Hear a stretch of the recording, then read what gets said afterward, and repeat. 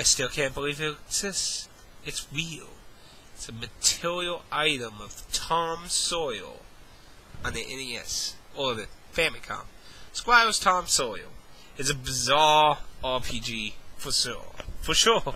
For sure. Wow, I just can't believe this thing exists. Um, I did a Let's Play this if you want to see footage. Um, there's only one other guy who ever did some Let's Play videos of it, and he only has a few of them. He never, like, did a 100% guide of it, but, um,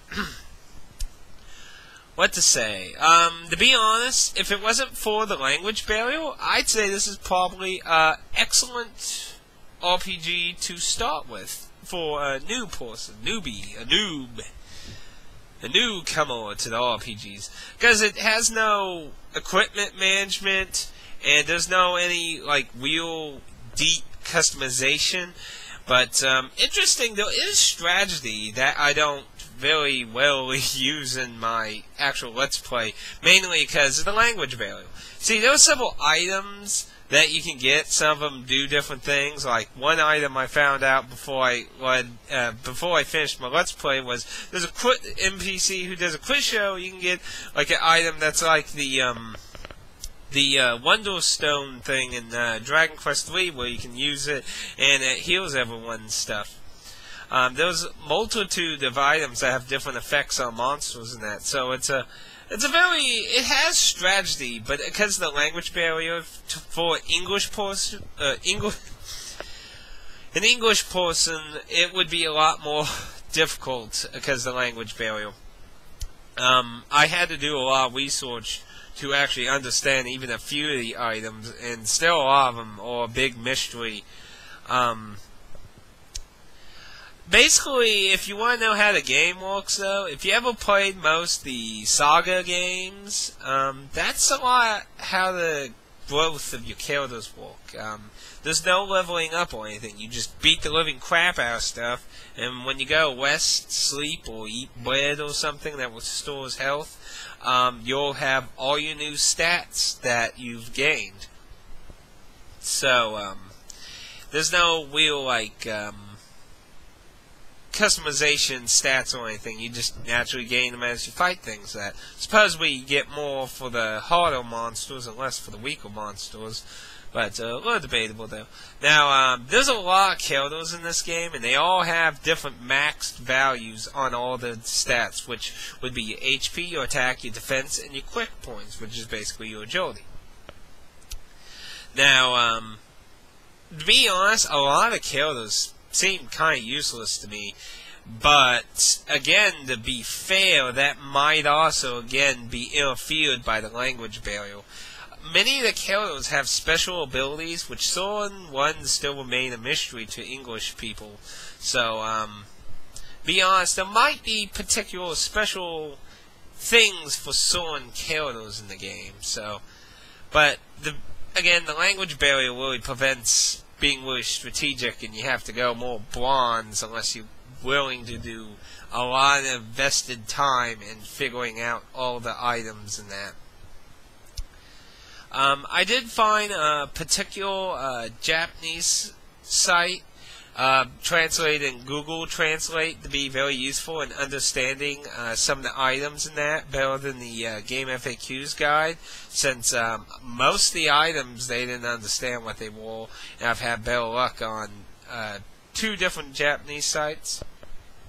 Um, it, it'll bit iffy as because you know it's being directly translated, so some sentences and such are kind of broken. Like uh, I number one said, like um,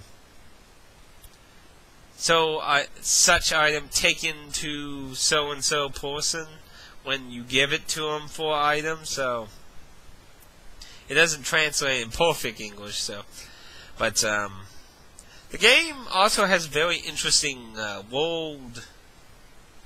Um, basically, if you could imagine how Friday the 13th, where you could go up and down paths and sideways, mixed with the mazy construction of Simon's Quest, Castlevania 2 Simon's Quest, kind of combine like the large world of Simon's Quest, but give it the kind of up and down, sideways scrolling environment of Friday the 13th on the NES, and you kind of have how the world in Tom Sawyer works here.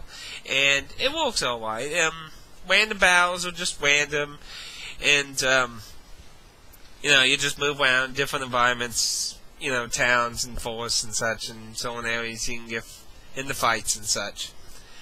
Um, it's also important to note, too, is, um, this feature is what uh, I like to look forward to as the old don't smash A button trick. Um, basically, what I mean is, it's one of those games where if you like have everyone attack the same thing, that thing dies, and um, you know somebody's still attacking it. It's not going to go to the next enemy. They're going to still attack the thin air.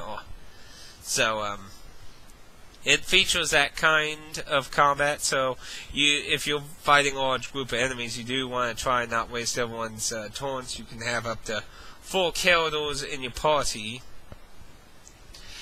And, um, be honest, uh, I, when it comes to stats, there's not a lot of variety. Most of the characters are way left in the dust, so unless they have, like, really special uses, I can't really imagine how many of the other characters are too useful.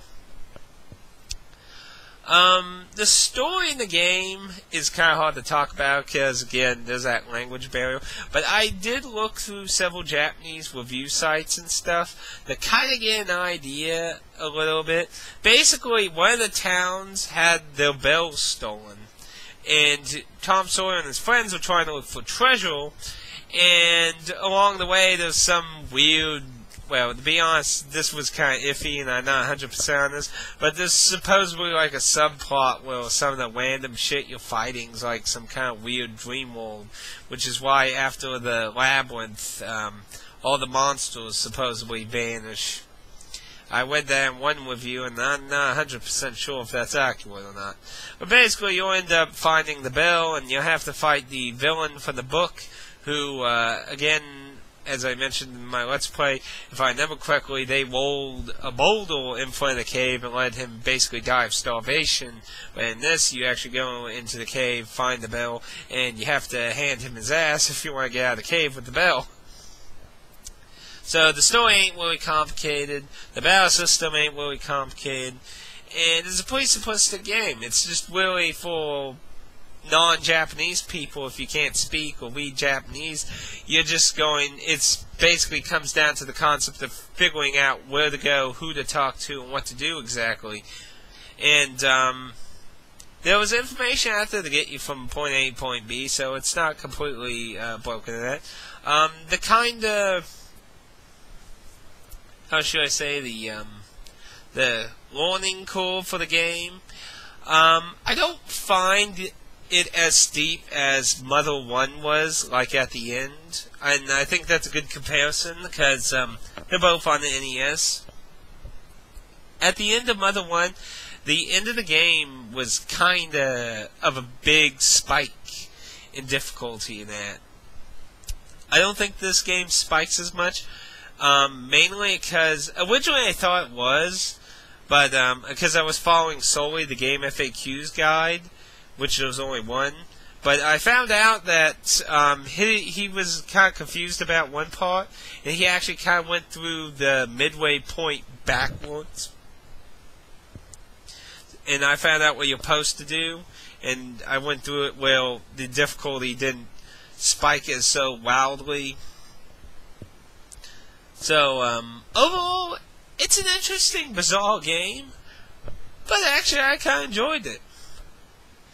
It's not very long. It's a nice short game to pick up and that. It's just all about knowing where to go when you can't understand the game.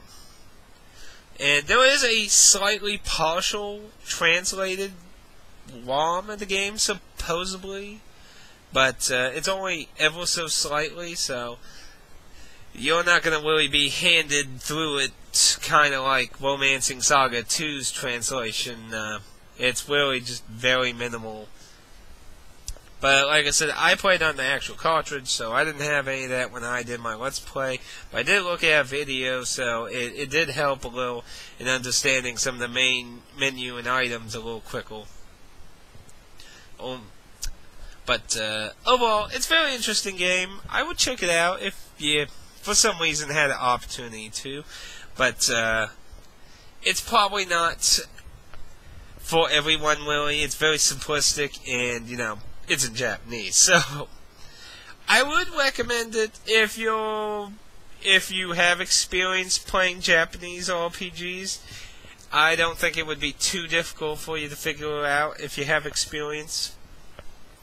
Um, if you have never played a Japanese RPG before, um, probably not the best thing because being an old game, it's all all the items in text. That like one of the conveniences of modern RPGs is like a lot of item icons and such. Like I can't tell you how much easier Mother Three was to play in Japanese because of all the item icons, which basically almost like 95% of items you could understand what the fuck they were and the odds are of what it would do.